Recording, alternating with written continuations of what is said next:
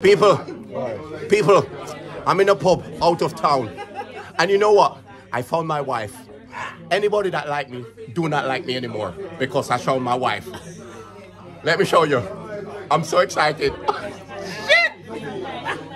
Look at my bunununos, my sweet onions. Excuse me. Excuse me, I need to sit beside my wife. Excuse me.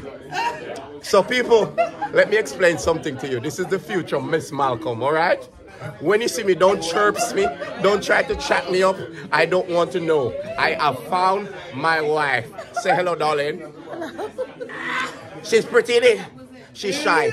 She's shy, all right? So if you see her on road, she's off the market. Hello?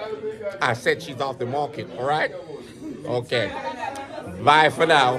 I'm going home with her right now. We're going to do lots of okey pokey, lots of spank the donkey. We're going to play road play tonight. It's a road play night tonight. You know? We're going to be we're going to be lots of anky panky tonight, you know? Right now I'm in the mood to, to dress up. You want to play cops and robbers? We're going to play cops and robbers when we get home. She's going to be the sheriff. I, I, I, I'm the robber, all right?